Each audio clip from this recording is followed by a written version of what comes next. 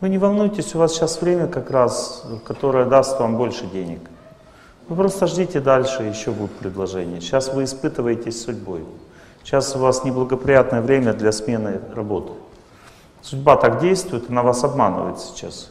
Вам не надо поддаваться на это. Ну, просто не всегда человек сам это может понять, кто-то со стороны лучше поймет.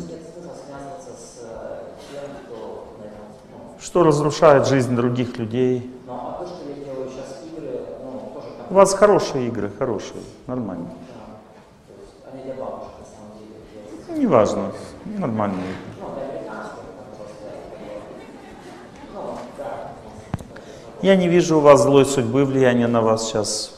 Игры тоже нужны. Раз люди это делают, это нужно.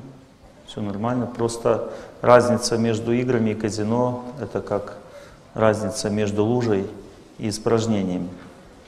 Лужа — это то, что нужно.